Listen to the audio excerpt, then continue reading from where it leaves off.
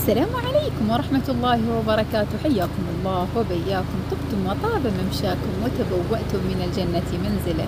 أسعد الله مساكم بالخير والسعادة في البداية. الله يحفظنا ويحفظكم من شر الأمراض والأوبئة والله يديم علينا وعليكم نعمة الأمن والأمان والصحة والعافية يا رب. وأسأل الله العظيم رب العرش العظيم في هذا المساء وفي هذا اليوم أن يشافي ويعافي جميع مرضى المسلمين من كل مرض من كل سقم من كل بلاء من كل أذى يا رب. مثل ما دائما أعيد وأكرر أنهم ما محتاجين منا غير أن نحن نذكرهم في دعاوينا. فالله يعلم بحالهم ويخفف عنهم كل ألم وكل عوق يا رب العالمين. مساكم صدقات من الابتسامة والكلمة الطيبة. وما شاء الله متواجدين بالفقيت وأجواء الفقيت أهم شيء صديق المخيم صديق المخيمات. البعوض الذباب عليكم باللبان والحرمل. متواجدين في المخيم أجواء شتوية جميلة. عاد اليوم بسوي لكم طبخة. عاد بداية هالشتاء بطبخ لكم مكبوس عاد اليوم قعدت أضبط آه، بهارات خاصة. عاد خلطاتي بروحي. سويت خلطات خاصة للمكبوس سويت للمكبوس سويت بهارات حق البحري وسويت بهارات حق اللحم حق اللفح. يعني قعدت اشتغلت من الصبح. سويت علب بهارات لكل شيء. ان شاء الله اليوم بنسوي مكبوس مكبوس لحم. بنشارككم بجوانب من هذا الطبخة الجميلة. وعلى الحطب أهم شيء على الحطب. هين هي لفقيت وما نطبخ على الحطب كنا ما كلينا ولا شربنا. فمساكم سعادة وإن شاء الله مثل ما قلنا بنشارككم بفقرات من المخيم. ها ركزوا في المخيم أنا مش في البيت في المخيم. عاد هذا صديقي في المخيم. دائما اللبان والحرمل.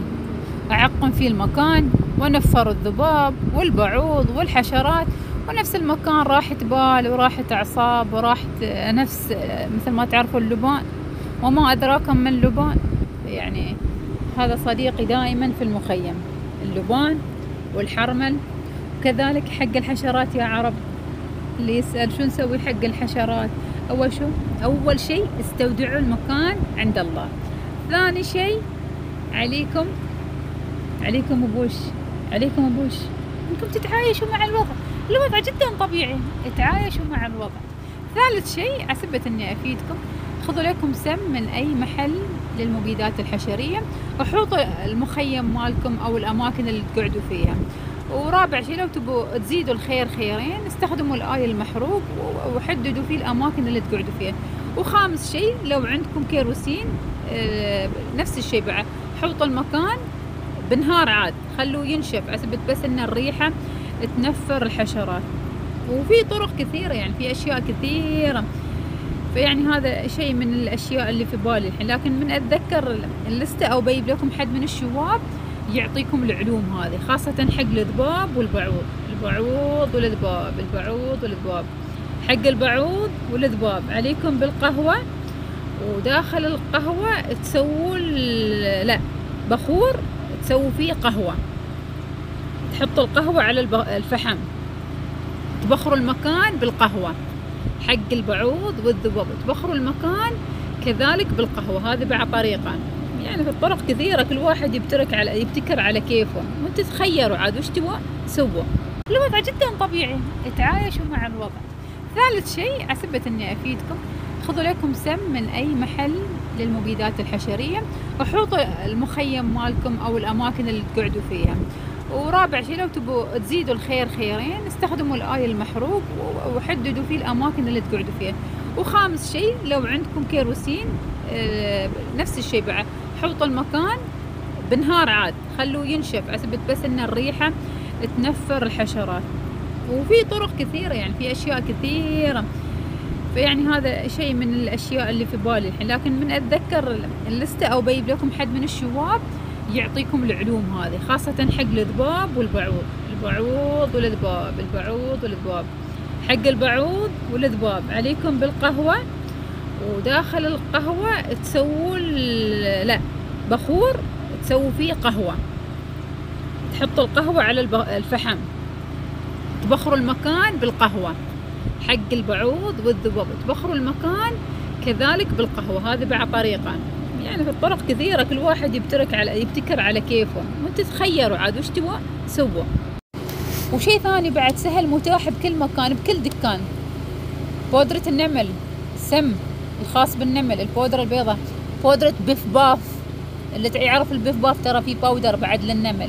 هذا يبوه وين ما تقعدوا قبل لا تقعدوا حوط البقعة اللي بتقعدوا فيها. آه هذا بنفر عنكم النمل والحشرات والصراصير والأشياء هذه. فهذه بعد طريقة بعد. إنكم ترشوا آه سم النمل مال البيف باف ما بيكلف شيء. ثلاثة درهم خمسة درهم سبعة درهم ما أدري. لكن خلاص تعرفوا إنه شيء ما بيتعدى حدودكم. أهم شيء إنكم تحددوا البقعة اللي أنتم قاعدين فيها.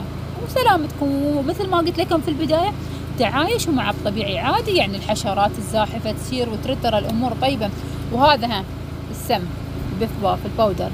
هذا بإمكانكم ترشوها جبت لكم بالصوت والصورة حق الصراصير والنمل.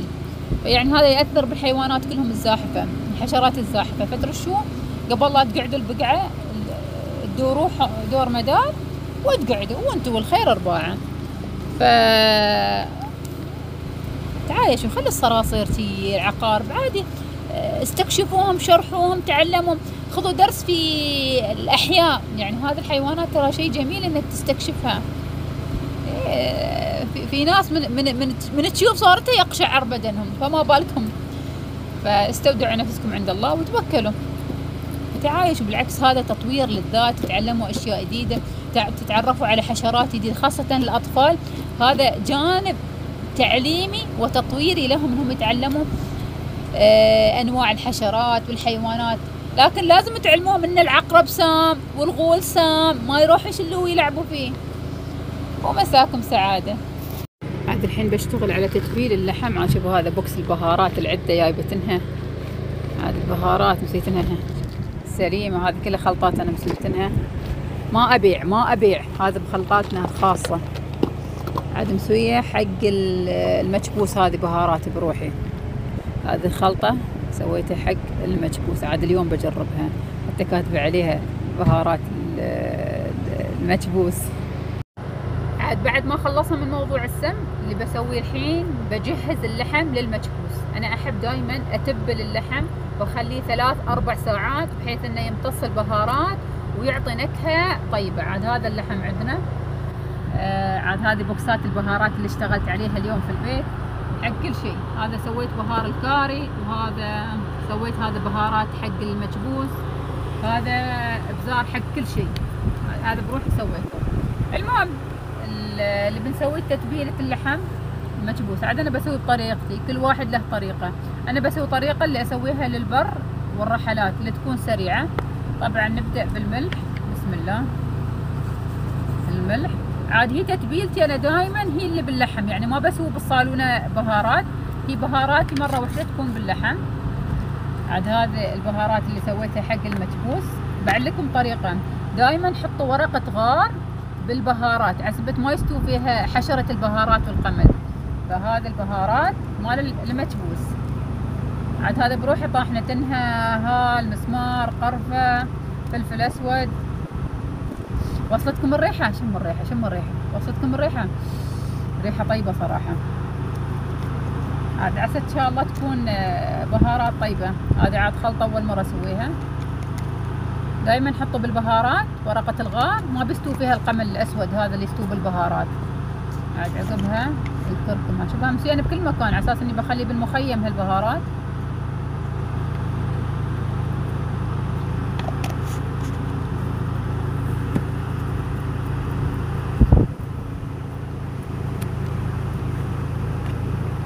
بهارات الكاري الواحد يسوي خبص عباس بدباس المهم يطلع الأكل لذيذ. نحط شوية ماي. وخلط بلط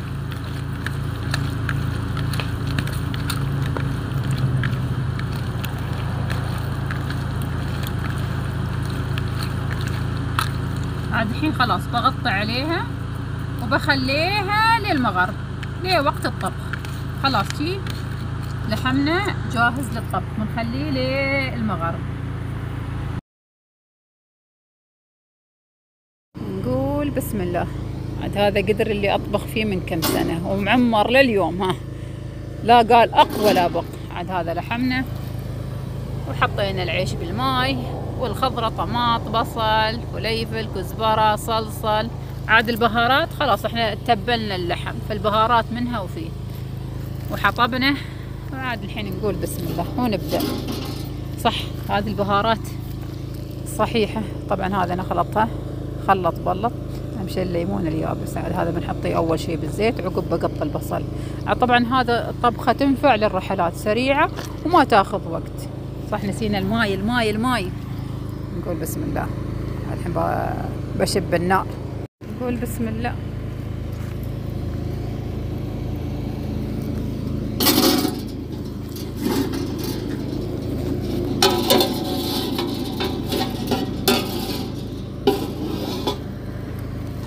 يا سلام يا ربي. فاحت الريحة. فاحت الريحة.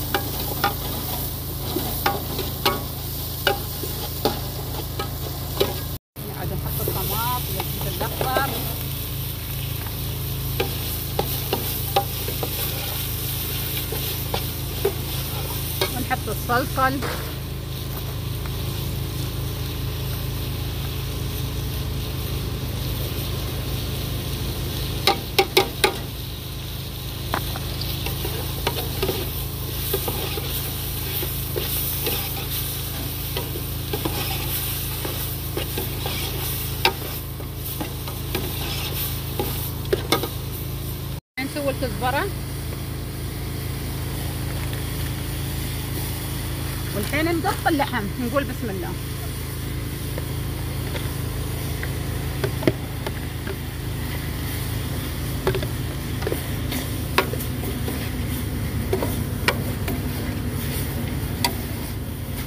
عسى وصلتكم الريحة يا رب.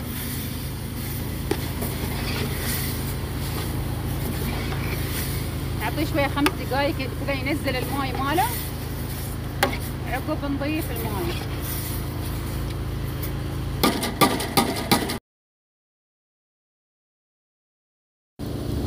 يا الله تبارك الرحمن عاد نخليه لين ما ينضى اللحم السلام شايفين جمال النار اللهم أجرنا من نار جهنم يا رب العالمين. عاد زين النار كذا بينضى اللحم بسرعة. عطفنا الماء نخلي لين ما ينضى اللحم هذه عادات وتقاليد وايدين يعلقون انت ليش هذا أبوي طقوس عادات وتقاليد. الأكلة ما تطلع حلوة لين ما ندقها مرتين. خليه الحين ما ينضى اللحم سلام يا سلام وصلتكم الريحة مم.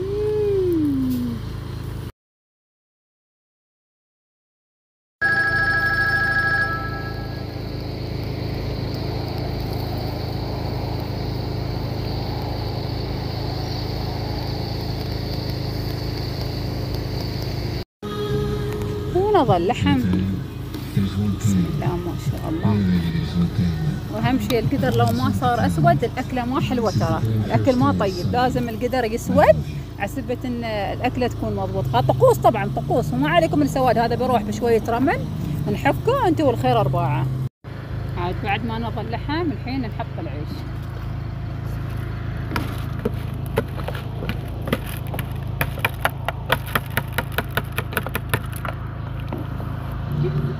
ونخليه على نار هادية الحين خلاص.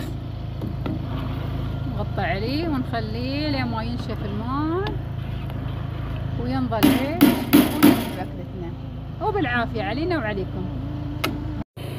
نقول بسم الله.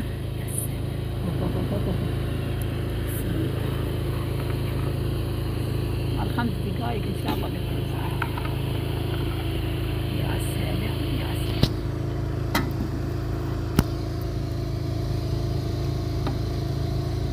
الريحة يا عرب. خمس دقائق